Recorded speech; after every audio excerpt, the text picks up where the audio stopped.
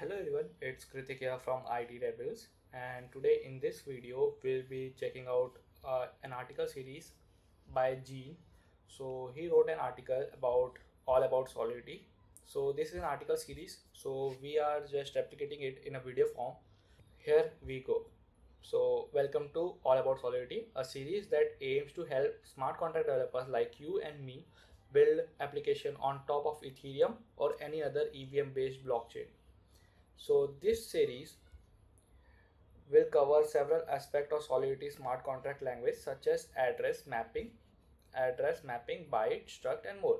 So this all this resource uh, which uh, I gonna present uh, is right here.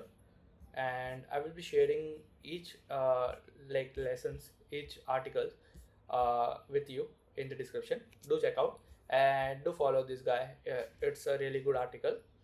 So i will share these resources uh, in the description.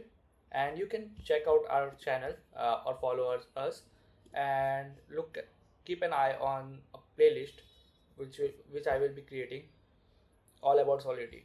So that's what we are going to do.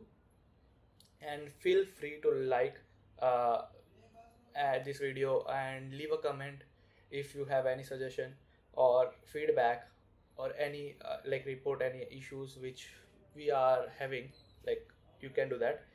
So it's your community right? Do whatever you want. I hope uh, you are okay with this and have fun